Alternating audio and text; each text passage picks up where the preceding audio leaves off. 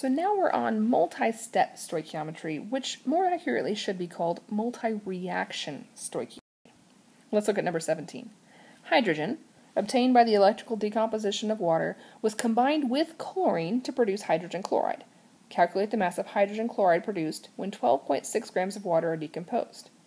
So the hydrogen was obtained by this first reaction and then used in the second reaction to react with chlorine to make hydrochloric acid. And so it's asking if I started with 12.6 grams of water, how much hydrogen would I get? And then using that amount of hydrogen with excess chlorine, how much hydrochloric acid finally will I have?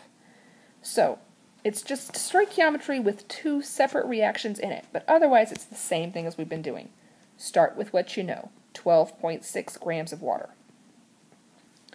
Using that 12.6 grams of water, water weighs 18.0 grams for every 1 mole. Okay, so the mole to mole ratio is going to be the hydrogen here, the water here to the hydrogen there, starting from water going to hydrogen within the same one reaction. For every 2 moles of water, 2 moles of hydrogen will be produced. Okay, but we're actually trying to use the hydrogen here. So now we have a new mole to mole ratio. Assuming that 100% of everything did exactly like it was supposed to do, and all of the hydrogen here was converted to hydrogen to react with chlorine, then I'm just going to do one more mole to mole step. But this is going to be from the second reaction. So going from this hydrogen to this HCl, that is one mole of hydrogen is needed to make 2 moles of HCl from the second reaction. And if I had 1 mole of HCl, that'd be 36.5 grams of HCl. So 12.6 divided by 18 times 2 over 2 times 2 times 36.5 gives you an overall answer of 51.1 grams of HCl. So this is exactly like the other stoichiometry we did, except for every individual reaction, we will have one extra mole-to-mole -mole step. Let's look at number 18. Antimony can be prepared from its sulfide ore by the following two-step process. Starting with this antimony sulfide, reacting with Smoxion, will make Sb4O6 and sulfur dioxide. That Sb4O6 will then react with carbon to make the Sb, the antimony. Antimony, by the way, is Sb.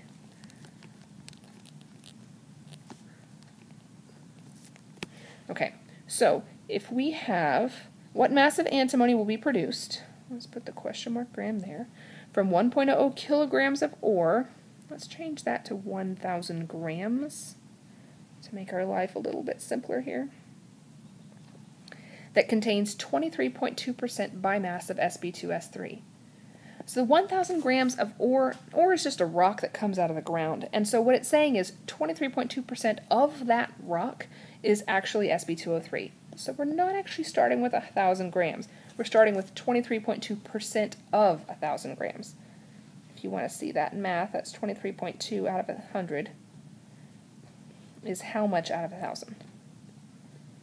If we had a 1,000 gram rock, that's 232 grams of Sb2S3. From there, I'm going to grams to moles, moles to moles, moles to grams, except I'm just going to add in one more mole to mole step. So I have to figure out what the weight of Sb2S3 is. Find Sb off the periodic table.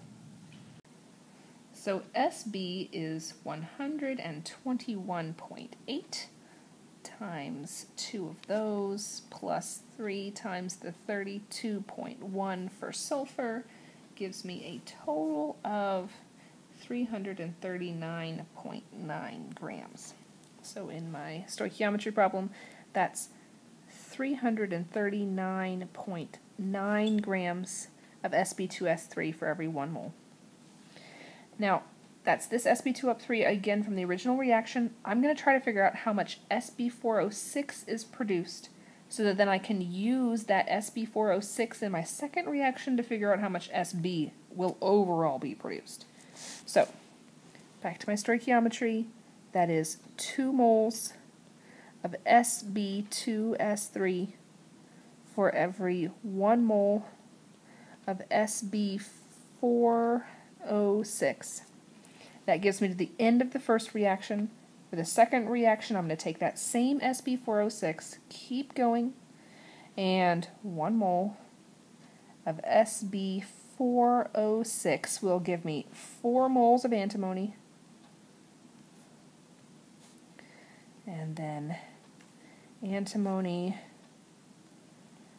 1 mole of antimony is 121.8 grams of antimony, which oh, overall, it gives you 166 grams of antimony. It was not necessary to find the intermediate grams of SB4O6 since I was going to plug it again back into the original reaction. I just have to do an extra mole mole step for every extra reaction that I have.